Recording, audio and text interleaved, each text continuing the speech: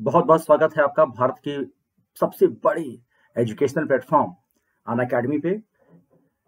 मैं अभिषेक मिश्रा आपका स्वागत करता हूँ। दो खूबसूरत लाइन के साथ ये आसमान का इशारा है कि कल का सूरज तुम्हारा है। ये दो सुंदर लाइन के साथ मैं आप, आज की क्लास का आगाज़ करता हूँ। केमिस्ट्री 101 हमारा एक प्यारा सा चैनल है जिसपे आप लगातार हमारे साथ जुड़े हुए हैं। यूट्यूब का चैनल है। इसके टेलीग्राम से जुड़ करके आप सारी नोटिफिकेशन पा सकते हैं। और आप अन अकेडमी का फ्री स्पेशल क्लास और टेस्ट ज्वाइन कर सकते हैं। Code A M zero zero one लगा करके आप सारे फ्री क्लासेस और सारे टेस्ट आप में पार्टिसिपेट कर सकते हैं। केमिस्ट्री वन ज़ीरो वन हमारा एक सुंदर सा चैनल है जिसपे आप लगातार हम और आप ग्रो कर रहे हैं बच्चों। मैं Abhishek Mishra masters in chemistry mentor two hundred of aspirants of NEET and JEE लगातार 16 वर्षों से मैं फुल टाइम एजुकेटर के तौर पे काम कर रहा हूँ और ये बहुत अच्छा अनुभव रहा है मेरा बच्चों के साथ। और कंसेप्चुअल अप्रोच हमेशा ही पसंद किया जाता रहा है क्योंकि रटने से चीज़ें जो हैं कभी कभार आप एग्ज़ाम में रट के जाते हैं और नहीं आता है वो चीज़। लेकिन जब कंसेप्ट क्लियर होता है तो चाहे रटा हो, रटना भी और अच्छा हो जाता है। अगर कंसेप्ट क्लियर हो तो रटने में भी और आनंद आता है। तो ये बहुत बेहतरीन बात है बच्चों। लगातार मुझे बच्चों का प्यार मिलता हुआ, बढ़ता हुआ चला रहा है। अभी ये पिछला डेटा है, अब ये थर्टी फाइव थाउज़ेंड से भी ज़्यादा हो चुका है और फॉलोअर्स का भी पिछला डेटा है, ये और ज़्यादा हो चुका है। तो थैंक यू वेरी मच बच्चों, आप लोग इतना मुझे प्यार दिए और डेडिकेशंस भी बढ़ते हुए तो बच्चे डेडिकेशंस भी देते हैं और जिससे उनके मुझे नाम भी याद रहते हैं। तो मैं चाहूँगा कि बच्चों, आप लोग ज़्यादा से ज़्यादा डेडिकेशन दीजिए जिससे कि मुझे आप लोगों का नाम भी याद रहे। आप जो भी कोर्स अन पे करना चाहते हो, जो भी कोर्स उसके लिए आपको A M zero zero one code apply करना है। आप A M zero one code apply कीजिए और जितना भी कोई फ्री क्लोज कोर्स हो या सब्सक्रिप्शन हो, जो भी करना हो, आप ये कोड अप्लाई करके आप आगे बढ़ सकते हैं। पेरेंट्स के पॉइंट ऑफ़ व्यू से मैंने बात किया पेरेंट्स से तो मुझे पता चला कि क्यों एन अकेडमी बच्चों के लिए अच्छा है। इसके लिए मैंने कुछ पॉइंट्स यहाँ पे बनाए हैं। आप उनको देखिएगा, ये पॉइंट्स पेरेंट्स से बातचीत करने के दौरान मुझे पता चले हैं, जिसमें बहुत इंपॉर्टेंटली ये बताया गया है कि बच्चों को अगर तैयारी करवाना है, अगर प्रिपरेशन करना है किसी कंपटीशन की तो उनको बाहर जाने की ज़रूरत नहीं है और उनको सारे की सारी सुविधाएँ अन अकेडमी के प्लेटफॉर्म पर यहाँ मिल रही हैं और गार्जियंस के लिए जो एक फाइनेंशियल लोड होता है, वो भी यहाँ पर एकदम मिनिमाइज कर दिया गया है। स्टूडेंट से मैंने बहुत सारे स्टूडेंट से बात किया तो उनके लिए जो चीज़ इंपॉर्टेंट होती है और एक स्टूडेंट मैं भी रहा हूँ तो मेरे लिए भी जो चीज़ें इंपॉर्टेंट रही हैं, उसके हिसाब से देखा जाए तो ये सब पॉइंट्स बहुत इंपॉर्टेंट हैं। जो कि स्टूडेंट के पॉइंट ऑफ़ व्यू से मैं देख सकता हूँ कि हाँ ये ज़रूरी पॉइंट्स हैं।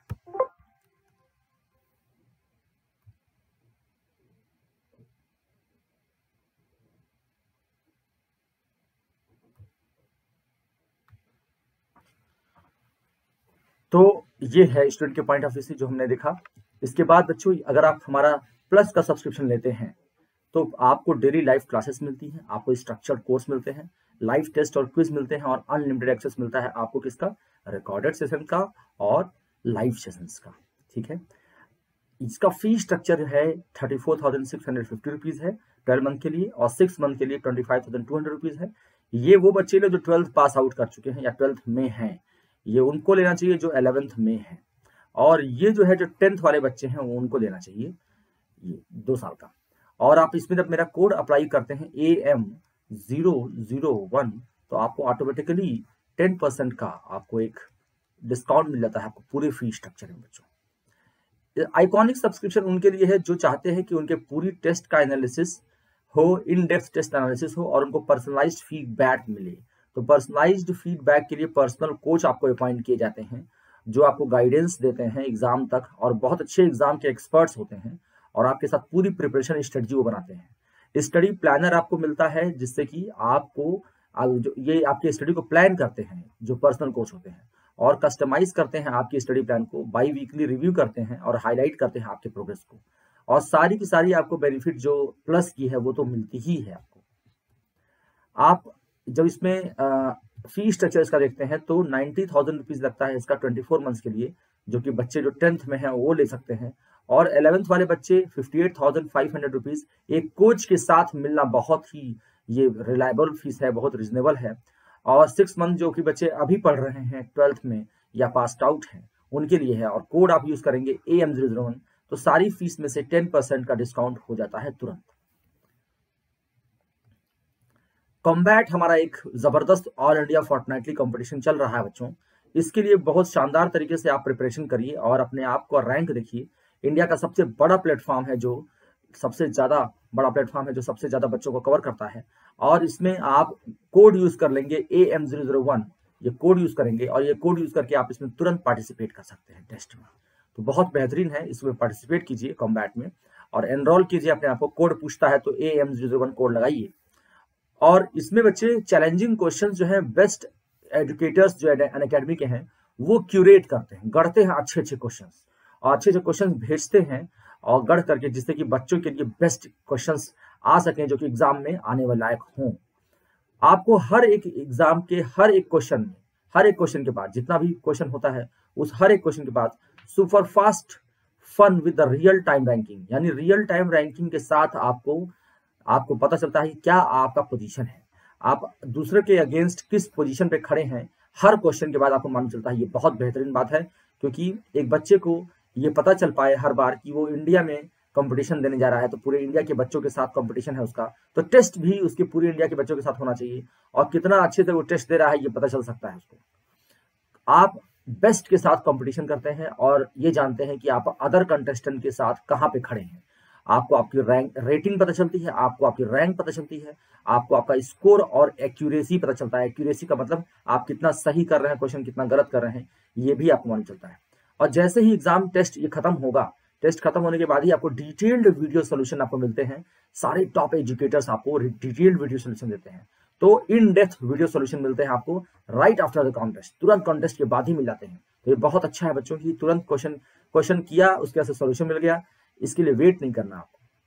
तो आप अपना स्कोर देखते हैं लीडर बोर्ड पे अपना रैंक देखते हैं रेटिंग देखते हैं और एक्साइटिंग अवार्ड्स भी मिलते हैं। इस बार के अवार्ड्स थोड़ा चेंज कर दिए गए हैं। ये पुराने अवार्ड्स हैं। इसको आप कंसिडर नहीं करेंगे अभी। और जो है न्यू अवार्ड्स जो है वो अलग काइंड के हैं, जो आपको जब आप उस पर करेंगे अपना आप कॉम्बैट में रजिस्ट्रेशन करेंगे तो आपको पता चल जाएगा उसमें कि क्या क्या अवार्ड्स हैं। फॉर क्लास एलेवेंथ ग्यारह बजे से बारह बजे तक ट्वेल्थ के लिए भी ग्यारह से बारह और थर्टीन के लिए भी ग्यारह से बारह ये होता है हमारा शेड्यूल ठीक है बच्चों? चलिए, आप एनरोल करने के लिए A M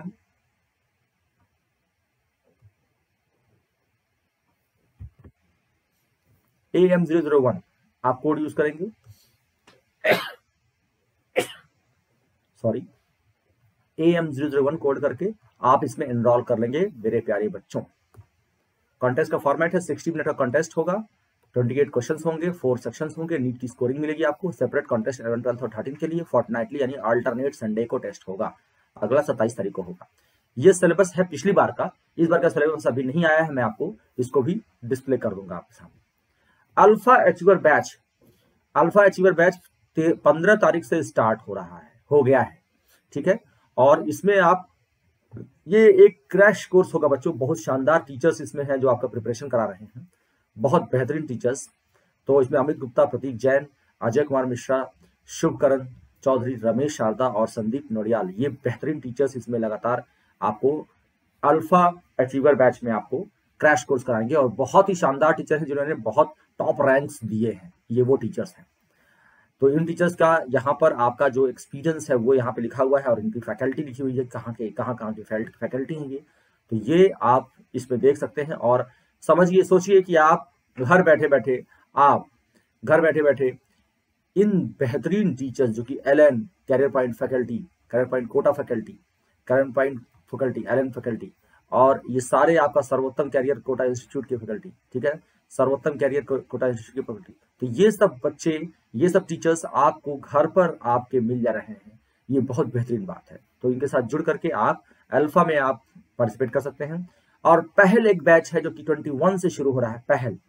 तो इस पहल में पार्टिसिपेट कीजिए और नीट के क्रैश कोर्स में आप आइए और एंट्रेंस मेडिकल एंट्रेंस एग्ज़ाम में आप टॉप एजुकेटर से पढ़िए। ये बहुत बेहतरीन है। ये 21 तारीख से शुरू हो रहा है। इसमें भी आप पार्टिसिपेट कर सकते हैं। तो पहल में Pankaj Talwar, Pradeep Chitaura Ashish Diwan S K Singh doctor S K Singh और सौरभ शर्मा। ये बेहतरीन टीचर्स जो हैं, ये इक्कीस तारीख को स्टार्ट हो रहा है। इसको आप फटाफट सब्सक्राइब कर लीजिए और A M zero zero one code use ज़रूर कीजिएगा। आपको बहुत बेहतरीन उसमें आपको फ़ायदे मिलेंगे।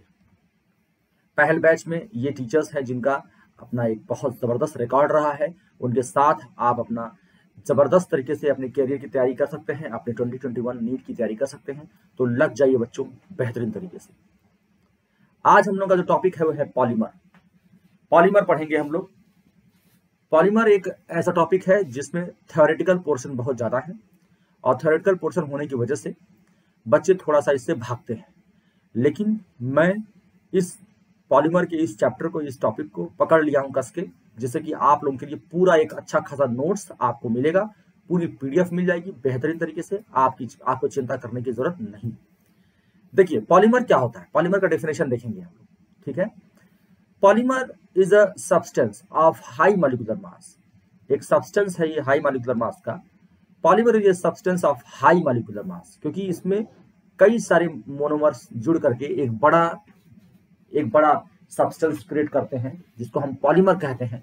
तो पॉलीमर बच्चों, एक बड़ा जो है पॉलीमर कई सारे मोनोमर्स का जुड़ करके बहुत बड़ा एक सब्सटेंस बनता है, जिसके मोलिकुलर मास 103 से लेकर के 107 कॉम्बिनेशन ऑफ़ यूनिट्स यानी 103 से लेकर के 107 यूनिट्स तक कॉम्बाइन करती हैं, और तब बनता है polymer which is form by large number of monomer molecules by chemical bond तो इसका जो मॉलिकुलर मास होता है, वो 103 से लेकर के 107 यूनिट तक होता है कॉम्बिनेशन यानी जोड़ जोड़ करके जोड़ जोड़ करके। जैसे मान लो पॉलीथीन है तो इथीन इथीन जुड़ते हैं इसमें तो ये इस तरह से बनता है और ये हाई मॉलिकुलर मास के होते हैं, जो कि large number of monomer molecule by chemical bond chemical bond से लार्ज नंबर ऑफ़ मॉलिक्यूल जुड़ते हैं। तो ये एक एक लाइन पे क्वेश्चन है, ये एनसीआरटी e का एक एक लाइन है बच्चों, जिसपे आपको मैं बता रहा हूँ। ये ध्यान रखिएगा। तो एक एक पॉइंट क्योंकि एनसीआरटी e पे थोड़ा सा मुश्किल हो रही थी ऐसे पढ़ाने में तो मैं इस तरह से इसको बना लिया हूँ। तो monomers are simple and reactive molecules monomer क्या होते हैं? वो सिंपल होते हैं और रिएक्टिव मॉलिक्यूल्स होते हैं विच प्रोड्यूस पॉलीमर इधर बाई एडिशन और कंडेंसेशन तो यहाँ पे दो बातें हैं। एक एडिशन हो गया और एक हो गया कंडेंसेशन तो एडिशन और कंडेंसेशन दो तरीके से केमिकल रिएक्शंस होते हैं, जिससे कि पॉलीमर बनता है। तो हमने क्या सीखा कि पॉलीमर एक सब्सटेंस है जिसका मॉलिकुलर मास बहुत हाई होता है 103 से लेकर 107 कॉम्बिनेशन यूनिट तक होता है which is form by the large number of monomer molecule by chemical bonds monomer क्या होते हैं? सिंपल एंड रिएक्टिव मॉलिक्यूल्स होते हैं। तो ये ध्यान रखना, सिंपल एंड रिएक्टिव, ये बात बहुत इंपॉर्टेंट है। सिंपल तो होंगे होंगे और रिएक्टिव भी होंगे। तो simple and reactive. Simple and reactive molecules which produce polymers इधर बाई एडिशन और कंडेंसेशन या तो एडिशन से होगा, या तो कंडेंसेशन से होगा, यही होगा। तो एडिशन एक रिएक्शन है जो हम लोग ऑर्गेनिक में पढ़े हुए हैं। कंडेंसेशन में क्या होता है, वो भी पढ़ेंगे। आगे हम सब पे, सब पर हम डिटेल में चर्चा करेंगे। तो एडिशन और कंडेंसेशन इस पर भी हम लोग चर्चा करेंगे आगे। ठीक है बच्चों? चलिए। पॉलीमराइजेशन क्या होता है? What is polymerisation polymerisation is the process by which monomers are converted into polymers monomers जो है वो पॉलीमर्स में कन्वर्ट होते हैं।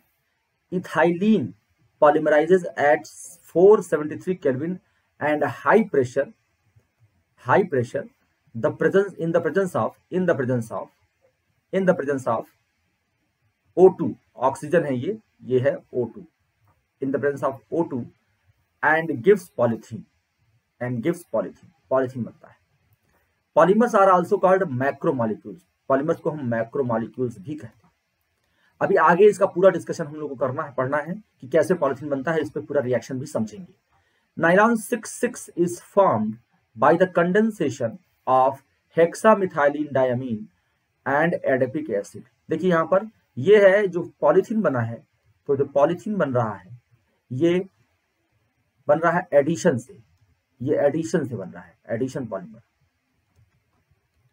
एडिशन पॉलीमराइजेशन और आपका जो नाइलॉन सिक्स सिक्स है नाइलॉन सिक्स सिक्स है वो आपका कंडेंसेशन से बनता है। देखो एडिशन में क्या होता है? डबल बॉन्ड या ट्रिपल बॉन्ड होता है, ठीक है? वो खुलता है, वो खुल जाता है, ठीक है? ऐसे। तो एडिशन फिर आपस में और जुड़ते चेन चेन जुड़ती चली जाती है, ठीक है? कंडेंसेशन में क्या होता है? जो उसमें फंक्शनल ग्रुप होते हैं, जैसे मान लो एक तरफ़ अगर मान लो कोई ओ OH है और दूसरा भी मान लो ओ OH है, यहाँ पे ऐसे है। तो ये वाटर ये जुड़ेंगे तो वाटर मालिक्यूल निकल जाएगा और वो जुड़ जाएँगे, ऐसे दिखेगा। कि ये ऐसे जुड़ गए, वो से जुड़ गए लिंक तो लिंक बन जाती है। तो इसको आगे हम डिटेल में समझेंगे, ठीक है ना? ये मेरे फ़ोटो के पीछे आ रहा है, इससे आप चिंता मत कीजिएगा, यहाँ पे मैं बता रहा हूँ। कंडेंसेशन में आगे हम लोग और पढ़ेंगे डिटेल में। तो कंडेंसेशन जो होता है, उसमें स्मॉल मॉलिक्यूल्स लाइक वाटर हो गया अमोनिया हो गया, ये सब एस हो गया, ये सब निकलता है। क्योंकि एडिशन में कोई स्मॉल यूनिट निकलता नहीं है पाई बॉन्ड ब्रेक होता है और वही आपस में जुड़ता चला जाता है। ठीक है बच्चे? सिक्स सिक्स एक पॉलीमर है। सिक्स सिक्स का क्या मतलब होता है? ये समझाता हूँ। एक्चुअली ये हेक्सा मिथाइलिन में मतलब ये सिक्स कार्बन हेक्सा मिथाइलिन छह कार्बन इसमें है और एडिपिक एसिड में भी छह कार्बन है। इसीलिए सिक्स सिक्स बोलते हैं। ये समझ लीजिएगा आप लोग। नाइलॉन सिक्स सिक्स का मतलब कि छह छह कार्बन वाले दो अलग अलग मोनोमर जुड़ रहे हैं और कंडेंस हो गए कंडेंस होकर होते होते होते होते एक पॉलीमर बना रहे हैं। तो ये बात क्लियर समझिएगा आप लोग नाइलॉन सिक्स सिक्स क्यों कहते हैं? क्लासिफिकेशन ऑफ़ पॉलीमर देखिए पॉलीमर क्या क्या किस तरह से हम क्लासिफाई करेंगे? बहुत क्वेश्चन इस पे आते हैं। बहुत क्वेश्चन में, हर एग्ज़ाम में क्वेश्चन इसमें आए हुए पूछे हुए हैं। इसलिए बहुत ध्यान से समझना है। Polymers are classified into following types which are based on some special consideration कुछ स्पेशल कंसिडरेशन है क्या क्या है? तो classification of polymers on the basis of their source यानी सोर्स क्या है, उस पर डिपेंड करता है। तो इनको डिवाइड किया गया है तीन क्लासेस में थ्री क्लासेस हैं। नेचुरल पॉलीमर्स है सेमी सिंथेटिक है और सिंथेटिक है। ठीक है? नेचुरल है सेमी सिंथेटिक है और सिंथेटिक है। तीन तरह के हैं। तो नेचुरल पॉलीमर जो हमें नेचुरली पेड़ पौधों से मिलता है, जानवरों से मिलता है, ठीक है ना? सिंथेटिक जो हम प्योरली जो हम प्योरली जो है बनाते हैं, और सेमी सिंथेटिक यानी जो जिसपे हम नेचुरल पॉलीमर में ही कुछ चीज़ें जोड़ जाड़ करके तब हम उस पर बनाते हैं। ठीक है? तो नेचुरल हो गया सेमी सिंथेटिक हो गया सिंथेटिक हो गया। तो तीन तरह के पॉलीमर सोर्स के बेसिस पर ये बात करी जाती है सोर्स के बेसिस पर। ठीक है? तो अलग अलग बेसिस पे अलग अलग बात होगी। देखिए नेचुरल पॉलीमर में नेचुरल पॉलीमर जैसे कि मैंने बताया कि जानवरों और एनिमल्स एनिमल्स और प्लांट्स से पाए जाते हैं नेचुरल पॉलीमर ठीक है? तो natural polymer are found in plants and animals plants और एनिमल्स में पाए जाते हैं। जैसे कि स्टार्च हो गया सेलोज हो गया नेचुरल रबर हो गया पेड़ से रेजिन्स हो गए और न्यूक्लिक एसिड्स हो गए प्रोटीन्स हो गए, ये सब क्या है? नेचुरल पॉलीमर्स है। ठीक है बच्चों? Starch and cellulose are polymers of glucose तो आगे भी हम लोग डिटेल में पढ़ेंगे और बायोमोलिक्यूल्स में भी पढ़ते पढ़ेंगे इसको हम लोग। तो ग्लूकोज के पॉलीमर होते हैं। ग्लूकोज होता है C six H twelve O six और इसी के पॉलीमर होते हैं हमारे क्या? स्टार्च और सेलुलोज ठीक है बच्चों? चलिए। प्रोटीन्स कहाँ से बनते हैं? Proteins are made of large number of amino acids. तो अमीनो एसिड्स मॉलिक्यूल से मिलकर के प्रोटीन्स बनते हैं। और प्रोटीन में क्या होता है? आपका सीओ एन एच बॉन्ड, यानी पेप्टाइड बॉन्ड होता है। इसको भी हम लोग डिटेल में पढ़ेंगे। तो proteins are long, chain, polymers, containing highly organised arrangement of amino acid molecules यानी अमीनो एसिड मॉलिक्यूल्स बहुत ज़बरदस्त और जो है अरेंजमेंट में होते हैं। ठीक है बच्चे? बहुत ज़बरदस्त अरेंजमेंट होता है। जैसे प्रोटीन में क्या होता है? सीओ एन एच बॉन्ड होता है। सीओ एन एच ये लिंकेज होती है। पेप्टाइड लिंकेज बोलते हैं इसको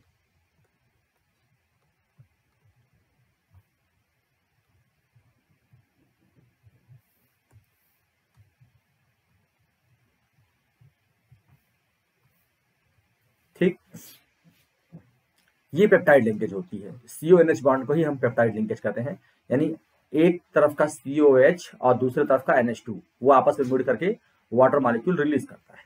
ओके तो proteins are form by uniting uniting large number of amino acids molecules proteins are long chain polymer containing highly organised arrangement of amino acid molecules natural rubber is a polymer of isoprene अब देखो यहाँ पे कह रहे हैं natural rubber क्या?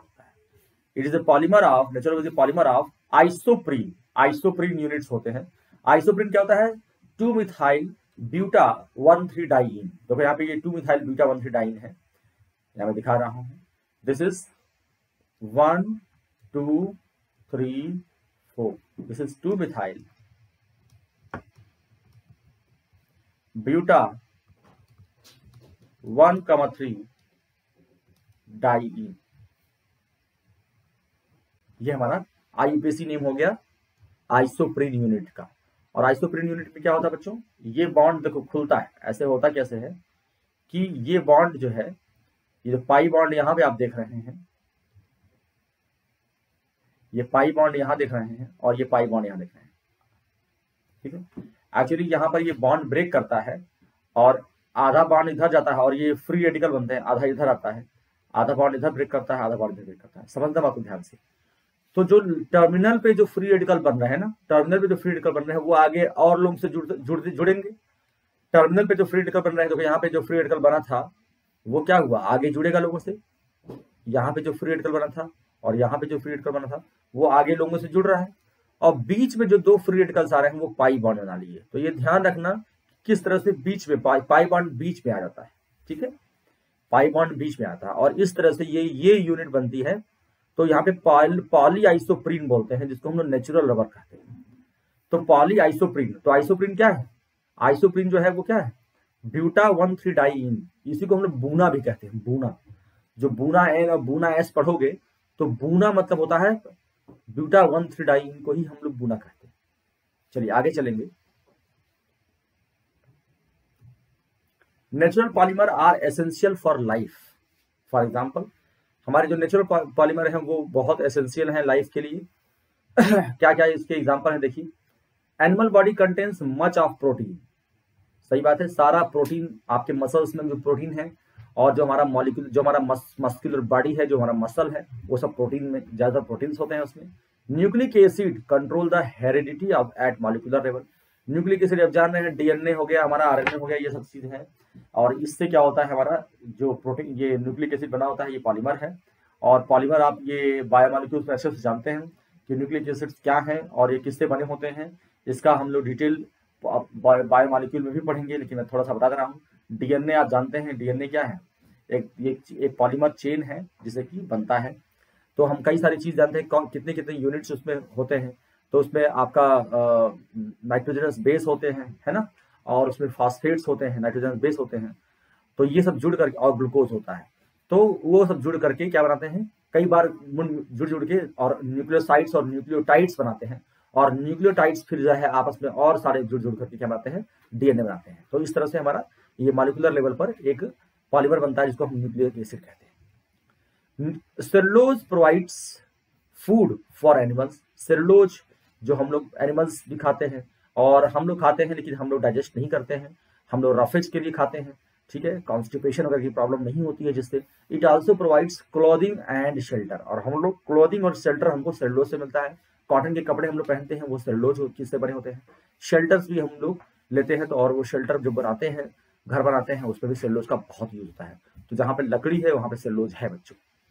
Rubber आप बहुत यूज़ है rubber provides various articles of daily use rubber से बहुत सारे हम चीज़ बनाते हैं तो नेचुरल रबर है उससे बहुत सारी चीज़ें हमारे डेली लाइफ में देखी जाती हैं। तो ये नेचुरल पॉलीमर्स का एसेंशियल है। और इसको सब मैं आप लोगों के लिए नोट्स बना दिया हूँ इसको ध्यान से अपना रखिएगा अपने पास, और इससे इसका लाभ लीजिएगा। Semi synthetic semi synthetic polymers semi synthetic polymers में देखिए are mostly derived from the naturally occurring polymers by chemical modification यानी केमिकल मॉडिफिकेशन करके हम डिराइव कर लेते हैं। जैसे कि मैंने बताया कि नेचुरल पॉलीमर से ही हम इसको बनाते हैं और उसमें कुछ केमिकल रिएक्शन कराते हैं और केमिकल मॉडिफिकेशन करके उससे हम ड्राइव करते हैं। जैसे सेलुलोज को अगर हम ऑन एसिटाइलेशन एसिटाइलेशन कर दें सेलुलोज पर एसिटाइलेशन कर दें, यानी C S C O C L से रिएक्ट कर दें या एसिटिक एनहाइड्राइड से रिएक्ट कर दें तो cellulose on acetylation with acetic anhydride in presence of sulphuric acid forms cellulose acetate इसको रेन कहते हैं। रेन बहुत बढ़िया जो है पॉलीमर है, बहुत हाई स्ट्रेंथ होता है। तो इट इज़ यूज़ रेयर का यूज़ देखो।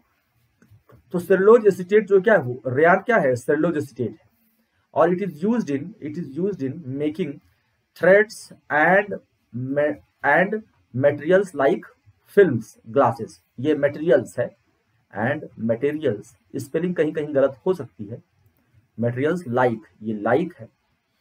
Material like films and glasses तो बहुत हार्ड होता है और बहुत ही स्ट्रेंथ होता है रेयान में, ठीक है ना?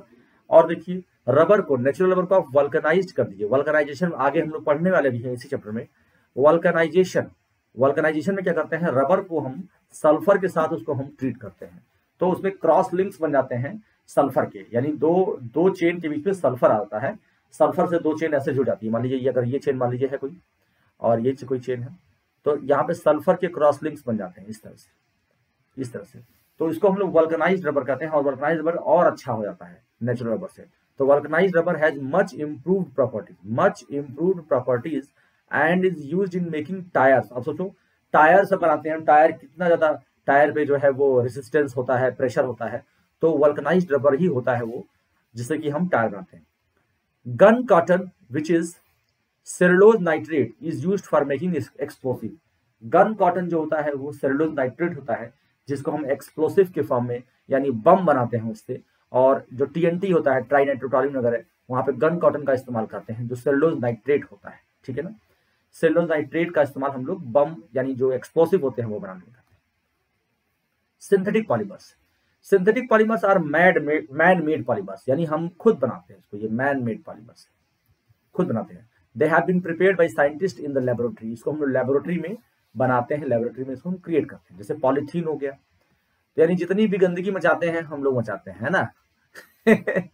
पॉलीथीन जो है देखो पॉलीथीन से छुटकारा पाने के लिए no polybags no polythene no plastic का हम लोग जो है, अब कैंपेन चलाते हैं। तो पहले बनाते हैं, फिर कैंपेन चलाते हैं ना? तो पॉलीथीन हो गया पॉलीस्टाइरीन हो गया, ठीक है पॉलिस्टरीन हो गई इसको पॉलिस्टर बोलते हैं। पॉलिस्टरीन का मतलब पॉलिस्टाइरीन का मतलब पॉलिस्टर।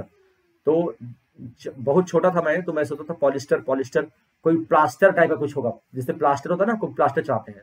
तो मुझे लगता था पॉलिस्टर जो है, प्लास्टर कुछ होता है। लेकिन एक बार मम्मी जो है, मार्केट में गई और एक कपड़ा देख रही थी तो उन्होंने बोला, ये तो ये तो पॉलिस्टर है। तो पॉलिस्टर है तो मैं समझ गया, अरे, ये तो पॉलिस्टर बोल रही है तो तब मैं समझा कि अच्छा ये कोई कोई जो है ये आ, कपड़े को बोलते हैं पॉलिस्टर जो है कपड़ा। तो ये पॉलिस्टर जो होता है वो रिंकल फ्री होता है और सस्ता आता है काफ़ी। तो ये जब चीज़ें हैं ये वो एक पॉलीमर है किसका? स्टायरीन का। पॉलिस्टाइरीन मतलब स्टायरीन का पॉलीमर स्टायरीन क्या होता है? देखो बच्चे। स्टायरीन जो होता है ये दिस इज़ द स्टायरीन ये स्टायरीन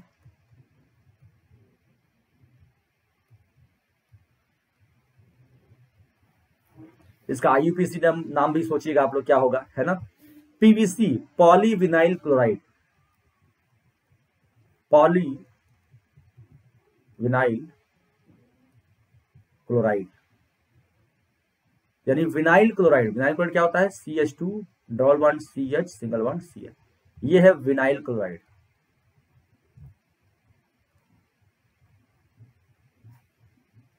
विनाइल क्लोराइड तो विनाइल क्लोराइड का आप क्या करते हैं? इसका पॉलीमर बनाते हैं, ठीक है? Teflon tetrafluoro ethylene what is Teflon? Tetrafluoro यानी C F two double one C F two ये क्या है? टेट्राफ्लोरो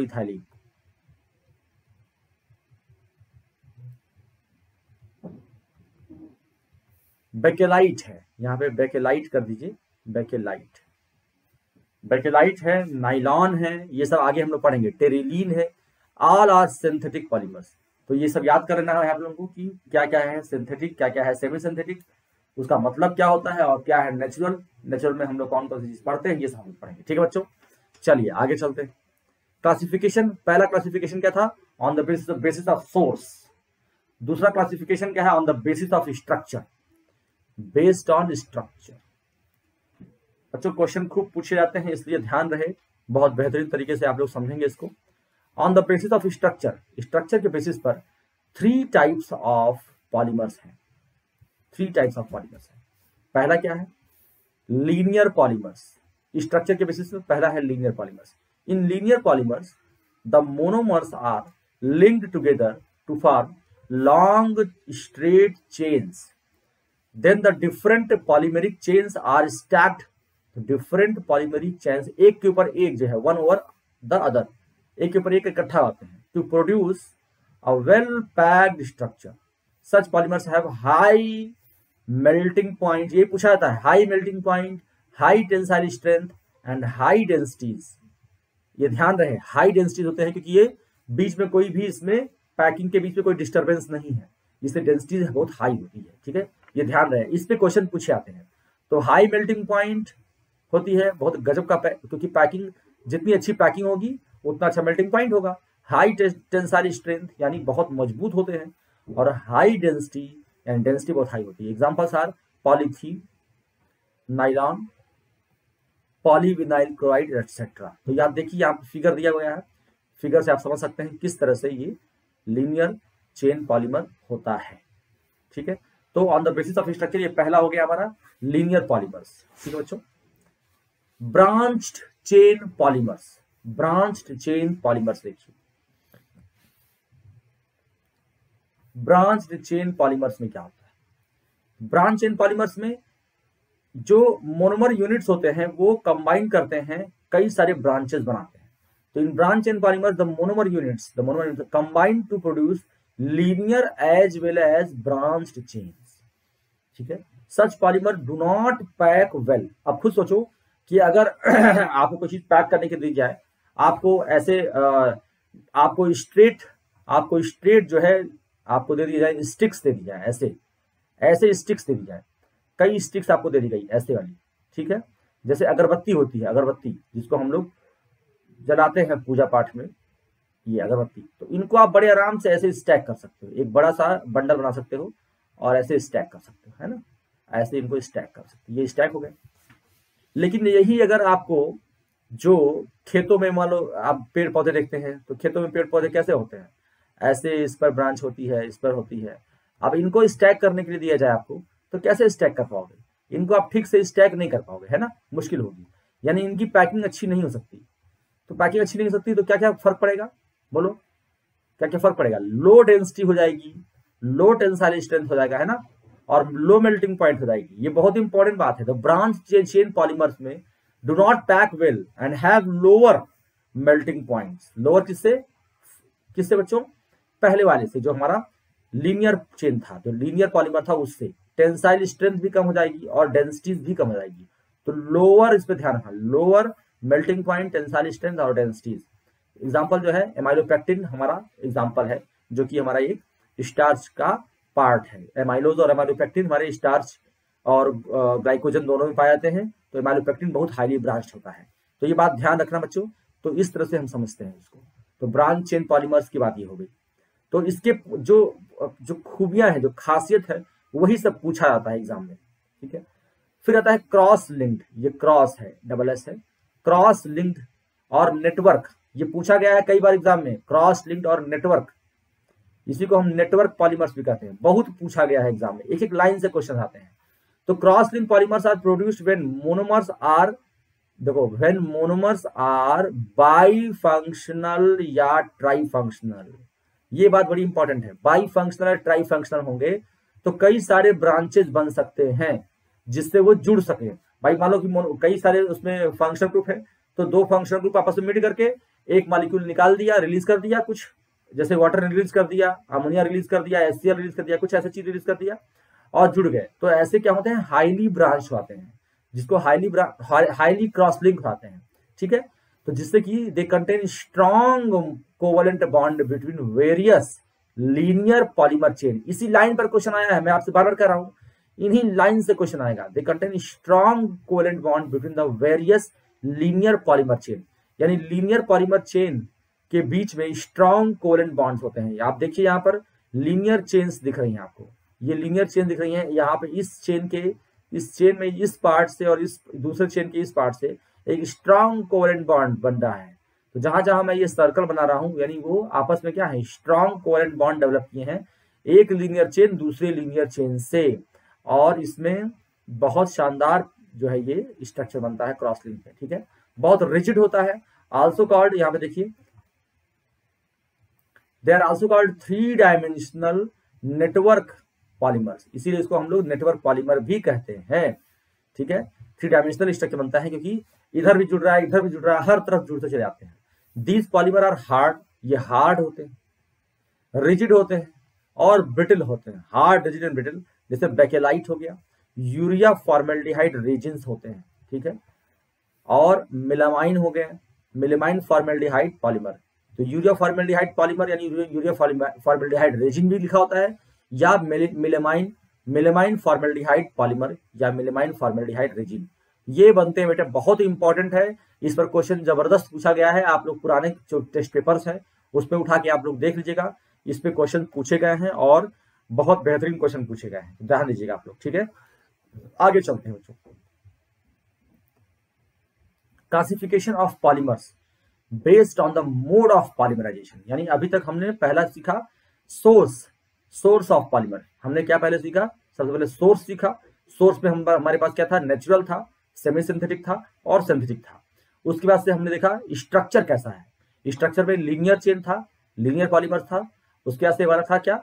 ब्रांच था तीसरा था हमारा क्रॉस लिंक था। तो ये तीन चीज़ें हम दो दो बेसिस पे, दो बेसिस पर हम छह बातें पढ़ चुके हैं। छह काइंड के हमने देखा। अब तीसरा बेसिस हमारा क्या है बच्चों? वो देखिए। थर्ड बेसिस है based on mode of polymerization mode of polymerization यानी किस तरह से पॉलीमराइज करेंगे? तो बिगनिंग में बिगनिंग में ही हमने समझा था कि एडिशन पॉलीमर क्या होते हैं और कंडेंसेशन पॉलीमर क्या होते हैं। तो एडिशन और कंडेंसेशन से एडिशन और कंडेंसेशन से बनते हैं।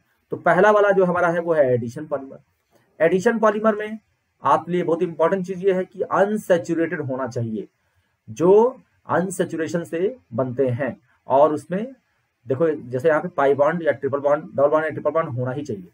तो व्हेन द डेफिनेशन क्या है? When the monomer unit add on one another to form long chain without elimination of any byproduct ये बहुत इंपॉर्टेंट बात है, बहुत इंपॉर्टेंट बात ठीक है? Without the elimination of any byproduct molecules any byproduct molecules the product form is called addition polymer and the phenomena is called addition polymerization. ये बच्चे बहुत इंपॉर्टेंट बात है, ये बात समझिएगा कि इसमें कोई भी चीज़ एलिमिनेट नहीं होती। है एडिशन में कुछ भी एलिमिनेशन नहीं होता। कोई भी चीज़ एलिमिनेट नहीं होती। In addition polymerization molecule such like एनएसट्री H two O C O two this etcetera are not not given out बहुत इंपॉर्टेंट बात। तो एडिशन पॉलीमराइजेशन में क्या होता है? पाई बॉन्ड ब्रेक करता है और सिग्मा बॉन्ड बनते हैं और वो जुड़ते चले जाते हैं, जुड़ते चले जाते हैं। ठीक ना? जैसे कि पॉलीथीन में। तो बच्चों, बहुत इंपॉर्टेंट है classification of polymer based on the mode of polymerization addition polymer हम लोग पढ़ रहे हैं। एडिशन पॉलीमर में हम देखा कि किस तरह से हमारा एडिशन पॉलीमर होता है, जिसमें कोई भी बाई प्रोडक्ट नहीं बनता। पॉलीथीन एग्ज़ाम्पल देख लीजिए polythene Teflon PVC PAN polyacryl polyester, polystyrene, polyvinyl acetate, etc. are addition polymers. In addition polymerization, the monomers simply add on one another leading to the formation of a polymer. Both the monomer and addition polymer have same empirical formula. ये बहुत शानदार बात है जी both the monomer and addition polymer have same empirical formula. Empirical formula same होता है। Empirical formula क्या होता है? जैसे मान लो, हम अगर बनाते हैं C six H twelve O six ये कहते हैं। तो इसका इंपेरिकल फार्मूला क्या हो सकता है? सी एच टू ओ इसका ये इंपेरिकल फार्मूला है।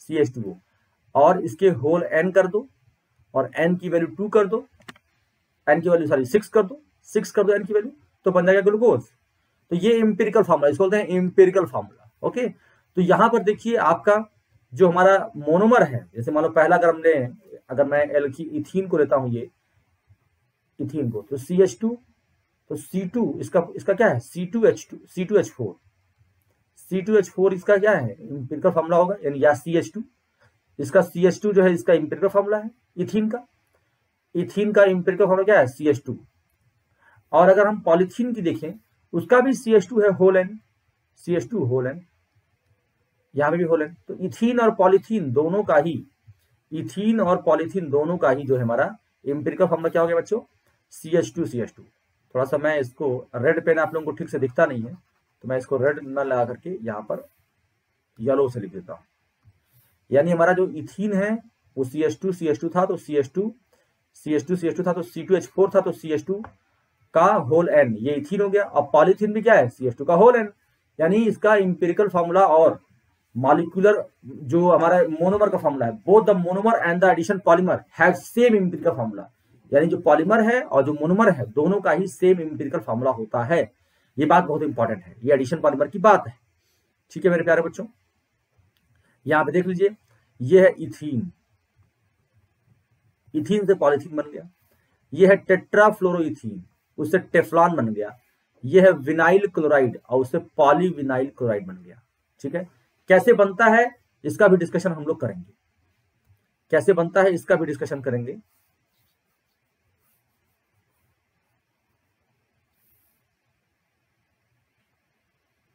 देखिए। जैसे मैं अगर बताऊँ तो यहाँ पे सी पेन चेंज कर लेता हूँ। C F two double bond C F two ये बॉन्ड आधा आधा ब्रेक करेगा हाई टेम्परेचर में होता है तो बनेगा C F two free radical single bond C F two free radical अब ये आगे अपना ये दूसरे किसी और से जुड़ता चला जाएगा तो इस तरह से वो लंबा ब्रांचिंग कर लेंगे तो इसको हम होल एन कर देते हैं। दैट्स इट ये होता है।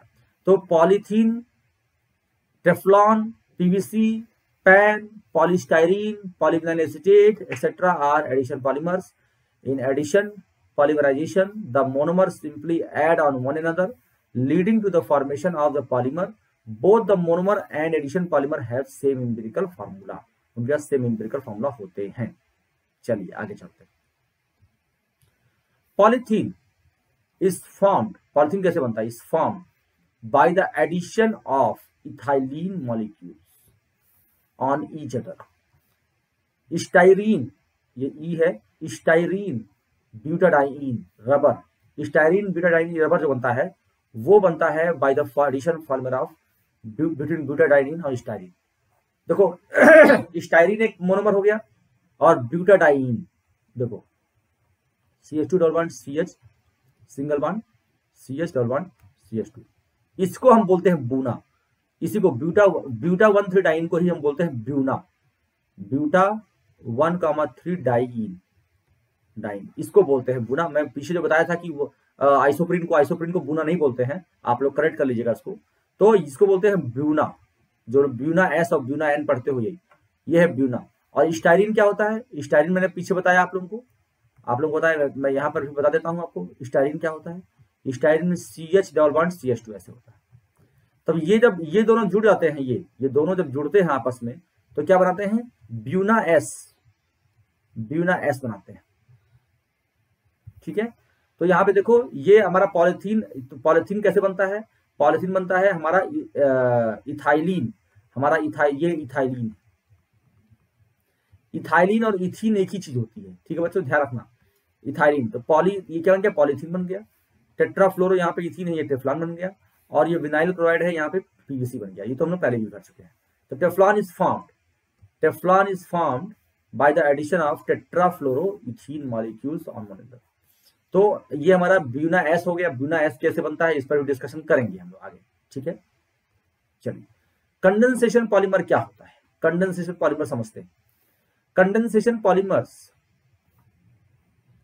in condensation polymerization the monomer usually contain two और थ्री फंक्शनल रूप दो, जो मोनोमर ये बहुत इंपॉर्टेंट ध्यान रखना।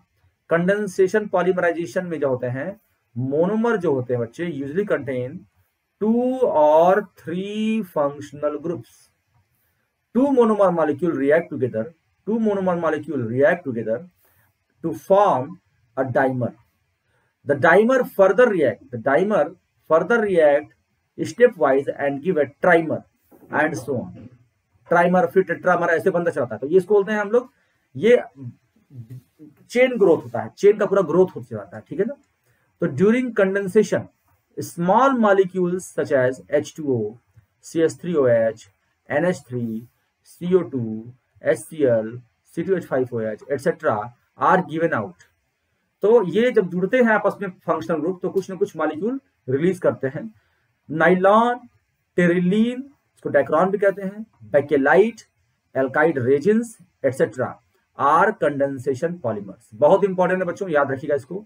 बहुत ही शानदार टॉपिक चल रहा है आप लोगों का पॉलीमर्स और पॉलीमर्स में ये बहुत इंपॉर्टेंट टॉपिक है, जिसको हम लोग सीख रहे हैं कंडेंसेशन पॉलीमर्स अभी तक हमने इसके पहले क्या सीखा? एडिशन पॉलीमर सीखा है।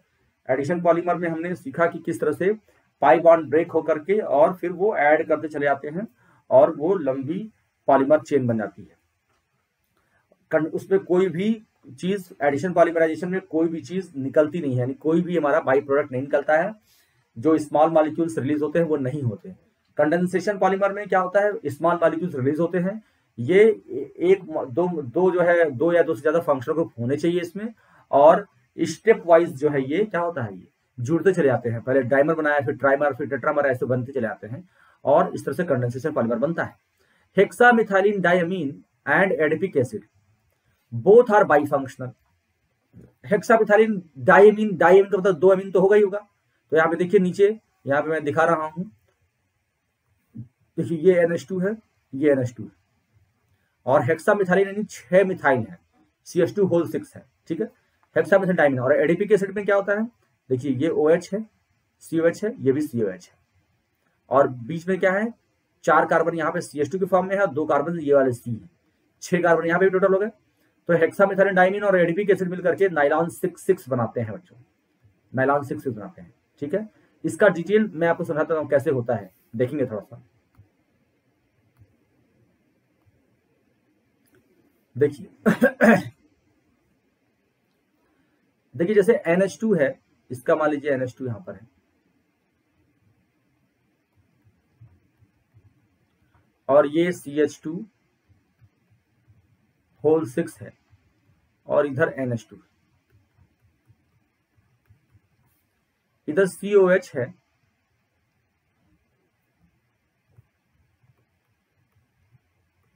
और फिर C H two whole four है। और सी ओ एच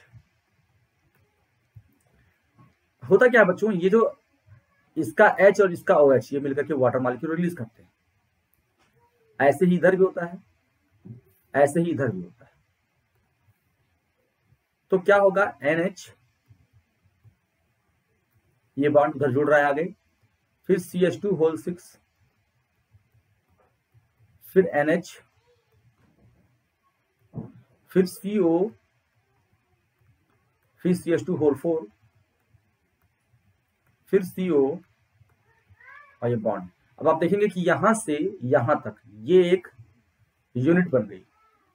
ये नाइलॉन सिक्स सिक्स की यूनिट बन गई। ये नाइलॉन बोलते हैं इसको नाइलॉन नाइलॉन बोलते हैं। हेक्सामिथाइल डाइमीन और एडिपिक एसिड का ये बना हुआ है मिक्सचर बना हुआ है। और इसको सिक्स सिक्स बोलते हैं जो कि इसमें दो जो है, छह छह कार्बन के दो यूनिट्स इसमें मिल करके बना रहे हैं। ठीक है मेरे प्यारे बच्चों? नाइलॉन सिक्स सिक्स का स्ट्रक्चर आपको समझ में आ गया होगा कि कैसे बनता है। तो ये एक कंडेंसेशन पॉलीमर है, किस तरह से हम इसको देखते हैं। दो मॉलिक्यूल्स आपस में किस तरह से जुड़ते हैं और वाटर मॉलिक्यूल या स्मॉल मॉलिक्यूल्स रिलीज़ करते हैं, ये ठीक है? तो जैसे यहाँ पर आप एडिशन देखेंगे, अगर मैं बूना एस मैं बूना एस से कंपेरिजन कर दूँ इसको, यहीं पे मैं बूना एस से कंपेरिजन कर देता हूँ। तो बूना में क्या था? ये आपका एक स्टायरिन था। स्टायरिन एस फॉर स्टायरिन तो ये बूना एस में आपका स्टायरिन आपका हो गया ये।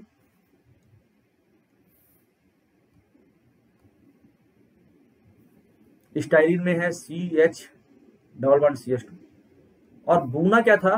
Buta one three diene C S two double one C H single one C H double one C S two ये ठीक है? ये है कंडेंसेशन इसको आपको कंफ्यूजन पड़ेगा। कंडेंसेशन है। कंडेंसेशन और इस मैं एडिशन बना रहा हूँ। एडिशन तो होता क्या है बच्चों? ये बॉन्ड हाई टेम्परेचर पे आधा आधा टूटता है। और ये भी ऐसे आधा आधा ऐसे ब्रेक करता है, यानी फ्री रेडिकल जनरेट होते हैं, ठीक है? तो देखो क्या हुआ? अब समझिएगा ध्यान से बात। ध्यान से समझिएगा इसको बात। इसका फ्री एडिकल आप समझना है सी एच ये एक फ्री एडिकल इस पर बना, और मैंने फिनाइल को नीचे लटका दिया। और ये सी एच टू इसका फ्री एडिकल बना। ये सी एच टू ब्यूटा का बूना का ये फ्री एडिकल बना। आप लोग को दिख रहा होगा, मेरे पीछे फ़ोटो के पीछे दिख रहा होगा ये। और ये C H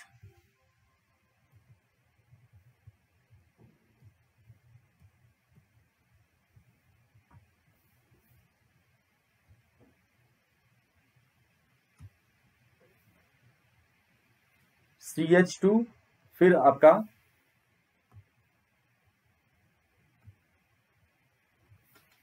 C H two C H free radical C H free radical और C H two free radical है ना? ये दोनों फ्री रेडिकल आपस में जुड़ के क्या बनाएँगे? पाइप बनाएँगे और ये आपस में जुड़ेगा इधर इससे और ये आगे वाले किसी मालिक्यूल से, ये भी किसी आगे वाले मालिक्यूल से जुड़ेगा। तो इस तरह से बनता है बच्चों। यानी सी एच नीचे लग जाएगा फेनिल या पीएच लिख सकते हो और इधर आप आगे बनाओगे। फिर ये C H single bond C H two sorry C H two single bond C H two फिर यहाँ पर एक सी एच डबल बॉन्ड फिर सी एच फिर इधर सी एच टू फिर ये आगे चला जाएगा तो ये मेरे फ़ोटो के पीछे आ रहा होगा। मैं हट जाता हूँ, आप लोग देख लीजिएगा इसको। एक बार इसको मैं इधर हट जाता हूँ, आप लोग देख लीजिएगा इसको। दिख गया? ठीक है? आप लोग को दिख गया होगा ये। एक बार हट के दिखा देता हूँ, आप लोग इसको नोट कर लेना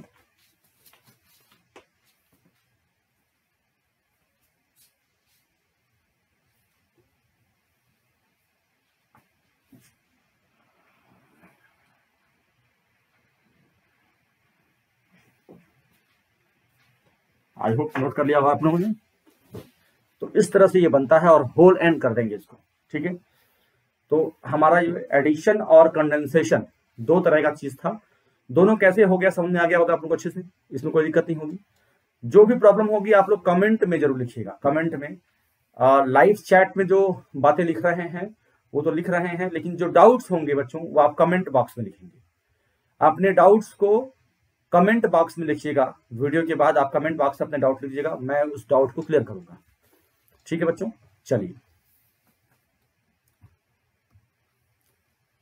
इसके बाद आता है बच्चों homopolymer and copolymer. Homopolymer and copolymer आता है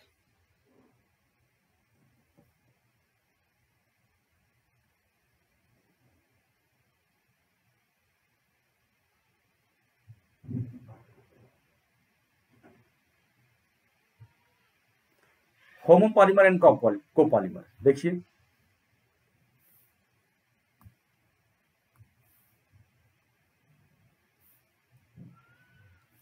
पॉली होमोपॉलीमर और कोपॉलीमर समझो, जिसमें एक ही काइंड के जैसे polymer obtain from only one type of monomer are called homopolymer यानी एक ही का जैसे पॉलीथीन हो गया टेफ्लॉन हो गया, है ना? एक ही काइंड के क्या है? पॉलीमर्स हैं। तो पॉलीथीन में इथीन इथीन इथीन इथीन जुड़ा जुड़ता चला रहा है। जबकि अभी हमने बूना एस देखा पीछे।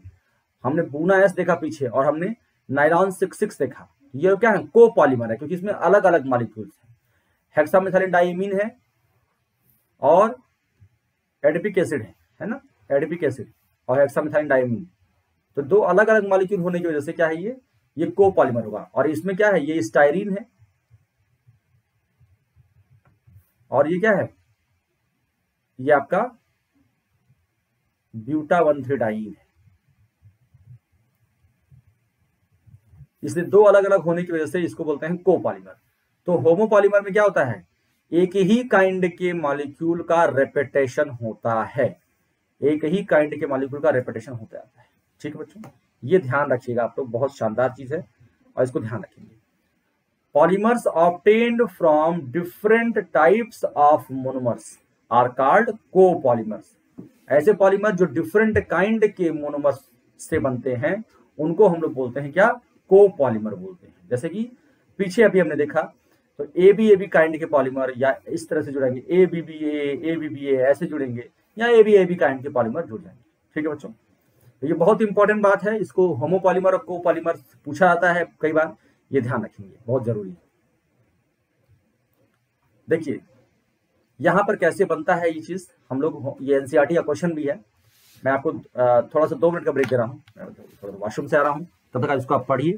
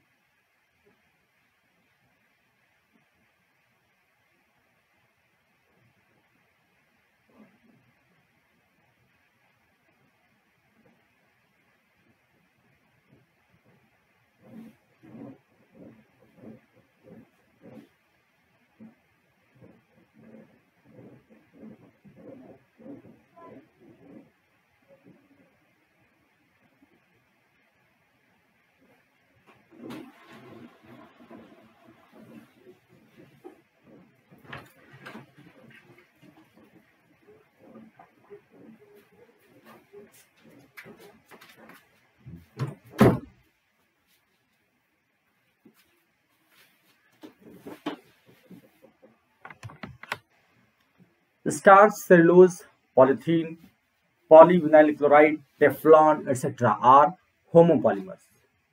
ये होमोपॉलीमर्स हैं सारे स्टार्च आपका जानते हैं आप ग्लूकोज से बनता है सेलोज पॉलीथीन पीवीसी टेफ्लॉन ये सब क्या है होमोपॉलीमर जबकि S B R styrene butadiene rubber styrene butadiene rubber है ना ये एस बी आर ही बोलते हैं है ना और स्टाइरिन और ब्यूटाडाइन से बुना एस भी बनता है।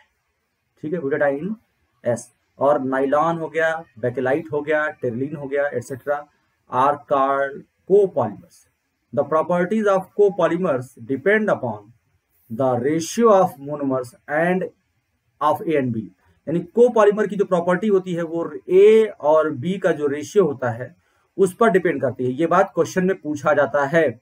So, the properties of copolymer is depend upon the ratio between A and B. A और B के बीच में जो रेशियो होता है, उस पर डिपेंड करता है उसकी प्रॉपर्टी ठीक है मेरे प्यारे बच्चों? ध्यान रहेगा ये बात? ठीक है? वेरी नाइस देखिए क्वेश्चन ये पूछा गया है। यहाँ पे तो देखिए स्टारिन ब्यूटाडाइन एस जो यहाँ बना के दिखाया गया है। एस बी आर यहाँ स्टारिन ब्यूटाडाइन रबर जो है यहाँ बना के दिखाया गया है। ये ब्यूटा वन डाइन है, ये स्टाइरिन है और ये स्टाइरिन ब्यूटाडाइन रबर बना के दिखाया गया एग्ज़ाम्पल वन देखिए। एग्ज़ाम्पल वन क्या है? इज़ दिस होमोपॉलीमर और कोपॉलीमर तो आप देखिए, ये सी एस टू ये सी एस टू ये स्टायरीन नहीं है, ये पॉलीस्टाइरीन है बच्चों। It is homopolymer it is अपने फॉर्म मोनोमर स्टायरीन है ना? ये स्टायरीन से बना है तो ये पॉलिस्टर है पॉलिस्टाइरीन ये क्या है? दिस इज़ पॉलीस्टाइरीन तो पॉलीस्टाइरीन है, और ये होमोपॉलीमर है किसका? होमोपॉलीमर है किसका? स्टायरीन यूनिट्स का। तो स्टायरीन यूनिट का ये होमोपॉलीमर है। ठीक है बच्चों? तो ये बड़ी बेहतरीन बात होती है जो कि हम लोग सीख रहे हैं यहाँ पर। और सीखने के क्रम में हम classification based on molecular forces तो classification based on molecular forces जो है, हम लोग इसके आगे पढ़ेंगे बच्चों। ये classification based on molecular forces में इसके बाद का जो हमारा ये है, ये हम लोग डिपेंड करता है कि किस पर, किस प्रकार का उसमें, किस प्रकार का उसमें फोर्स है। तो classification classification based on molecular forces तो मॉलिकुलर फोर्स किस प्रकार का है उसमें? इसके बेसिस पर ये हम क्लासिफिकेशन पढ़ते हैं। The application of polymer the application of polymer based upon depends upon its physical properties such as elasticity tensile strength और टफनेस यानी जितनी भी एप्लीकेशन होती है, वो इसी पर डिपेंड करती है। इसकी फ़िज़िकल प्रॉपर्टीज़ पर, यानी उसकी इलास्टिसिटी क्या है, उसकी टेंसाइल स्ट्रेंथ क्या है, उसकी टफनेस क्या है। और वो किस पर डिपेंड करता है कि मॉलिकुलर फोर्स उनके बीच में कैसे हैं? And these properties of polymers depend upon the intermolecular forces such as hydrogen bonding van der Waals forces etcetera existing in the macro molecule तो बहुत इंपॉर्टेंट बात है बच्चों ये। तो जो मॉलिकुलर फोर्सेस होते हैं मॉलिक्यूल्स के बीच में, उन पे डिपेंड करता है कि हमारा कि हमारा ये, किस प्रकार का हमारा ये पॉलीमर बनेगा, उसकी टफनेस क्या होगी, उसकी इलास्टिसिटी क्या होगी, उसकी उसकी टेंसाइल स्ट्रेंथ क्या होगी, ये डिपेंड करता है कि किस प्रकार का बॉन्डिंग, यानी किस टाइप की बॉन्डिंग? उनके बीच में हो रही है। इंटरमोलिकुलर फोर्स कैसे हैं? इंटरमोल फोर्स स्ट्रांग होंगे तो अलग प्रॉपर्टी शो करेगा। वीक होंगे तो अलग प्रॉपर्टी शो करेगा। तो इस प्रकार से हम क्लासिफिकेशन फोर्स पढ़ते हैं। तो ये हमारा पॉलीमर चैप्टर जो है ये हम लोग कर रहे हैं, जिसमें हम लोगों ने अभी तक क्लासिफिकेशन बेस्ड में चौथा बेसिस पढ़ रहे हैं। पहला बेसिस था हमारा कि किस तरह से सोर्स होते हैं उसके। सोर्स क्या है? पहला बेसिस था हमारा बच्चों सोर्स तो हमारा फ़र्स्ट बेस था हमारा सोर्स दूसरा क्या था बच्चों हमारा? बताइए। उसका स्ट्रक्चर दूसरा हमारा क्या था? उसका स्ट्रक्चर और तीसरा क्या था? मोड ऑफ़ फॉर्मेशन किस प्रकार से वो बनता है? तो मैं एक समरी समरी भी आपको मिल जाएगी। मोड ऑफ़ फॉर्मेशन किस प्रकार से बनता है? और चौथा हम क्या समझ रहे हैं बच्चों? की classification based on molecular forces तो मॉलिकुलर फोर्सेस कैसे?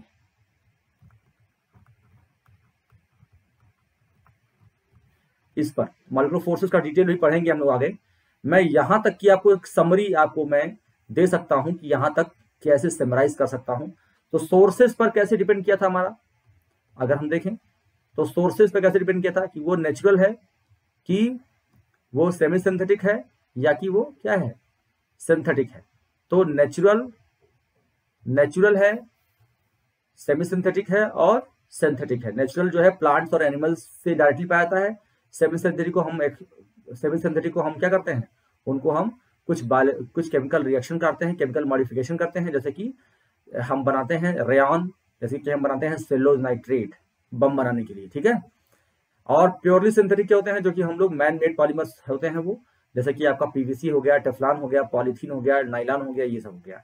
इसके बाद से आता है classification based on structure structure में एक होता है लीनियर लीनियर में लीनियर चेन्स होती है जो एक के ऊपर एक स्टैक करती है तो डेंसिटी हाई होती है टेंसाइल स्ट्रेंथ हाई होता है, और मेल्टिंग पॉइंट भी हाई होती है, जैसे पॉलिथीन हो गया नाइलॉन हो गया पीवीसी हो गया।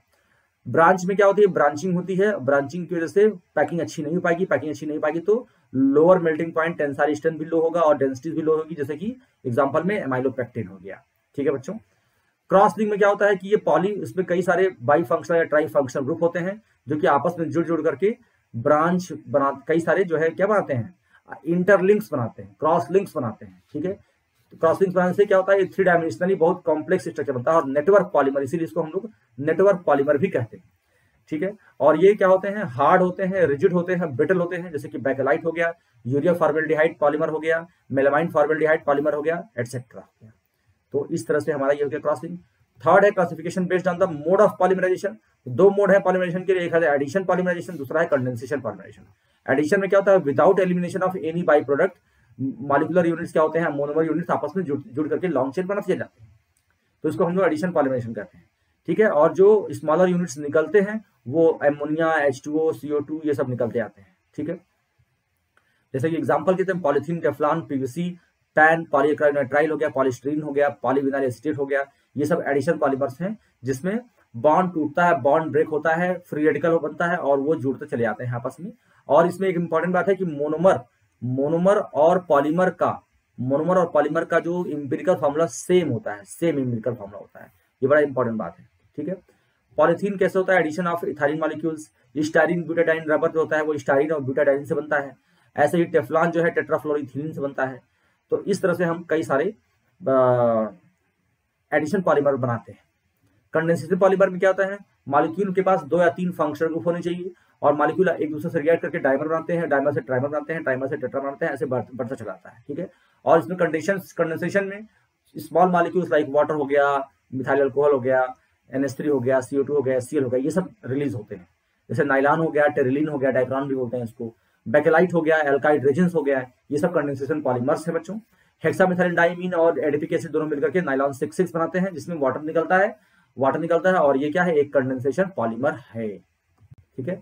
यहाँ पे नाइलॉन सिक्स सिक्स बनाने का एक तरीका दिया हुआ है और यहाँ पे मैंने डिटेल भी बता दिया है किस तरह से बनता है। और उसके साथ में मैंने एक कंपेरिजन भी दिखाया है कि स्टारिन ब्यूटाडाइन जो एस है, वो कैसे बनता है, उसका होमोपॉलीमर और कोपॉलीमर में क्या होते हैं? होमोपॉलीमर क्या होते हैं? इसमें एक ही काइंड का मोनोमर होता है।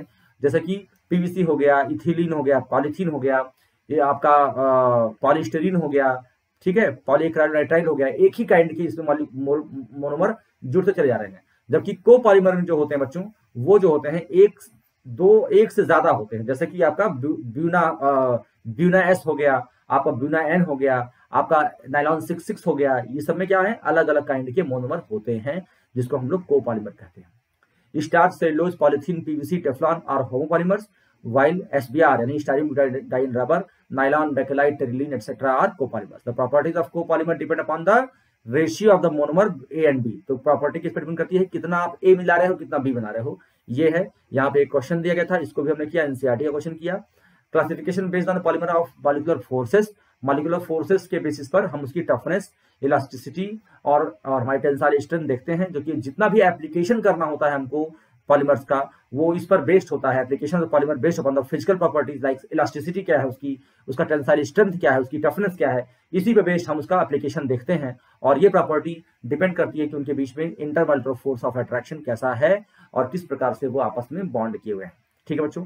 इसके आगे का जो पार्ट होगा, वो नेक्स्ट क्लास में हम करेंगे। नेक्स्ट क्लास भी आपको इस तरह से मिल जाएगी आपको। और जो भी आपके डाउट्स होते हैं बच्चों, वो अपना आप कमेंट बॉक्स में लिखेंगे और मैं उसको ज़रूर पूरा करूँगा। और आपका कोई भी टॉपिक अगर आपको चाहिए तो topic on demand topic on demand भी हम आपके लिए ला रहे हैं और उस टॉपिक ऑन डिमांड पे हम आपके लिए कुछ कुछ जो है चैप्टर्स जो भी आपको चाहिए होंगे, जो टॉपिक्स होंगे, वो भी आपके लिए हम वहाँ पर आपके लिए वीडियो बनाएँगे या आपके लिए लाइव क्लासेस भी अरेंज करेंगे। तो अपने टॉपिक्स को भी जो आपको टॉपिक चाहिए, वो भी आप कमेंट बॉक्स में लिखिएगा कि सर मुझे इस टॉपिक पर क्लास चाहिए। ठीक है मेरे प्यारे बच्चों? तो थैंक यू वेरी मच